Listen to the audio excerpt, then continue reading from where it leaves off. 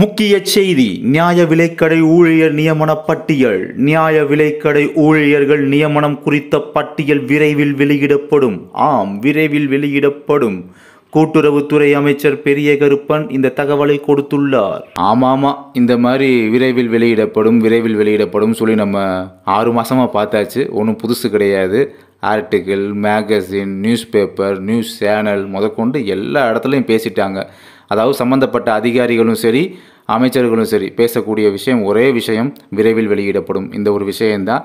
இப்போ ஏன் இந்த விரைவில் வெளியிடப்படும் சொல்லி திரும்ப இப்போ பேசியிருக்காங்கன்னா அதுவும் சில வாரங்கள் கழித்து மிஸ்டர் பெரியகருப்பன் சார் பேசியிருக்காரு அப்படின்னா ஒரு ரெண்டு மூணு நாளைக்கு முன்னால் கூட ஒரு வீடியோ ஒன்று போட்டு வந்திருப்போம். அதாவது ரேஷன் கடை ஊழியர்கள் வந்து போராட்டம் பண்ண போகிறாங்க பதினாலாம் தேதியிலிருந்து கால வரையறையற்ற போராட்டம் சொல்லியிருந்தேன். ஸோ அந்த ஒரு கண் துடைப்புக்காக தான் இந்த ஒரு விஷயத்தையும் பேசியிருக்காங்க. இந்த விஷயம் எப்போ முடியும்னா அந்த பதினாலாந்தேதி போராட்டங்கள்லாம் பண்ணாங்க அப்படின்னா அதோட ஃபோர்ஸ் எப்படி இருக்குது அதோட எஃபெக்ட் எப்படி இருக்குது அதை பார்த்துட்டு தான் பார்த்தீங்கன்னா ரேஷன் ஜாப் ரிசல்ட்டை வந்து பப்ளிஷ் பண்ணுவாங்க.